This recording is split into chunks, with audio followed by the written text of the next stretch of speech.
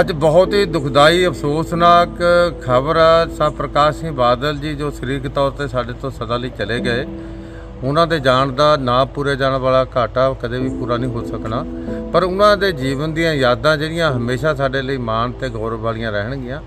ਉਹਨਾਂ ਨੂੰ ਇੱਕ ਲੋਕ ਨਾਇਕ ਦੇ ਤੌਰ ਤੇ, ਕਿਸਾਨਾਂ ਦੇ ਮਸੀਹੇ ਦੇ ਤੌਰ ਤੇ, ਦੇਸ਼ ਦਾ ਸਭ ਤੋਂ ਵੱਡਾ ਕਦਵਾਰ ਨੇਤਾ ਦੇ ਤੌਰ ਤੇ ਔਰ ਇੱਕ ਬੜੀ ਨਿਮਰਤਾ ਤੇ ਹਲੀਮੀ ਨਾਲ ਆਪਣੀ ਗੱਲ ਕਹਿਣ ਵਾਲੇ ਨੇਤਾ ਦੇ ਤੌਰ ਤੇ ਔਰ ਇੱਕ ਪੰਜਾਬ ਦਾ ਦਰਦ ਲੈ ਕੇ, ਪੰਜਾਬ ਦਾ ਫਿਕਰ ਲੈ ਕੇ, ਪੰਜਾਬ ਨੂੰ ਇੱਕ ਚੰਗੇ ਰਾਹ ਤੇ ਲਿਆਉਣ ਦੀ ਚਿੰਤਾ ਲੈ ਕੇ ਉਹ ਸਾਡੇ ਚੋਂ ਗਏ ਨੇ ਔਰ ਉਹਨਾਂ ਨੇ ਹਮੇਸ਼ਾ ਪੰਜਾਬ ਨੂੰ ਚੜ੍ਹਦੀ ਕਲਾ ਲਈ ਔਰ ਦੇਸ਼ ਦੀ ਤਰੱਕੀ ਲਈ ਬੜੀ ਵੱਡੀ ਕੁਰਬਾਨੀਆਂ ਤੇ ਸੇਵਾ ਕੀਤੀ ਆ। ਮੈਂ ਸਮਝਦਾ ਕਿ ਉਹਨਾਂ ਦੀ ਸੰਘਰਸ਼ੀਲ ਜ਼ਿੰਦਗੀ ਜਿਹੜੀ ਆ ਉਹ ਹਮੇਸ਼ਾ ਪ੍ਰੇਰਣਾ ਸਰੋਤ ਰਹੇਗੀ।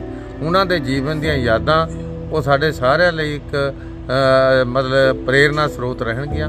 ਅੱਜ ਉਹ ਸਾਡੇ 'ਚ ਨਹੀਂ ਰਹੇ, ਪਰ ਉਹਨਾਂ ਨੇ ਮੈਂ ਸਮਝਦਾ ਜੀਵਨ ਦੇ ਵਿੱਚ ਜੋ ਘਾਲਣਾ ਘਾਲੀ ਆ, ਉਹ ਖਾਸ ਤੌਰ ਤੇ ਸ਼੍ਰੋਮਣੀ ਅਕਾਲੀ ਦਲ ਲਈ, ਪੰਜਾਬ ਲਈ, ਦੇਸ਼ ਲਈ ਇੱਕ ਮਾਣ ਵਾਲੀ ਗੱਲ ਆ, ਇੱਕ ਗੌਰਵ ਵਾਲੀ ਗੱਲ ਆ।